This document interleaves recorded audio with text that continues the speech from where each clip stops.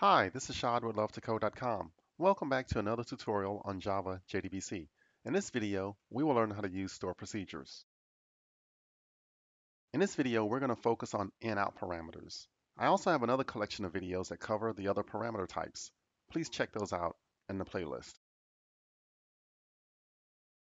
For this tutorial, we will use the following table, employees. The table has sample data for testing. I have a SQL zip file that you can download It'll create the table, add sample data, and also set up the store procedures. You can download it from the link below. Let's learn about in-out parameters. We'll pass in a parameter, the store procedure will read the parameter and update it with a value. So in this example, our DBA created a store procedure called greet the department. It's a very simple example. It simply reads the parameter name for the department. All the store procedure will do is create a new string based on the department name. It will have the string hello to the awesome department team, and we'll plug in the value of team. That's it. We could get really fancy and do some SQL calls to the database, but for now, let's just keep it simple.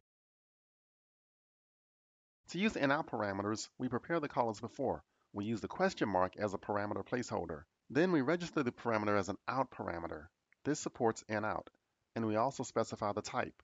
Since we're passing in a string, we make use of types.varchar.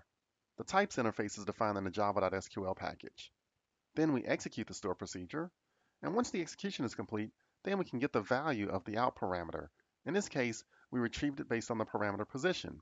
Remember that params are one-based. This will give us the output from the store procedure, and we can display it accordingly. Let's switch over to Eclipse and see this in action.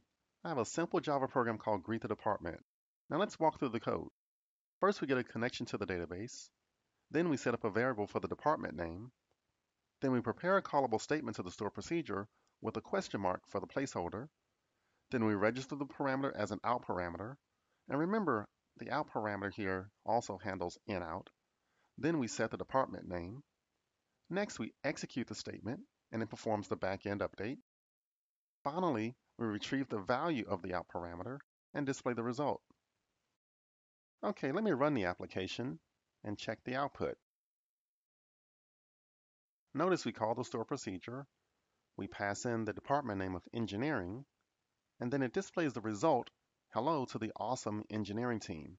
So this is the result of that out parameter that came back from the store procedure. So the store procedure performed as desired. Good job. Well, that wraps up our discussion on store procedures using in-out parameters. We were successful in calling a store procedure and passing in those parameters. Stay tuned for the next video. I will show more examples of using store procedures with parameters. Please subscribe to our channel to view more videos on Java. Click the thumbs up to like our video. Finally, visit our website luv2code.com to download the Java source code used in this video.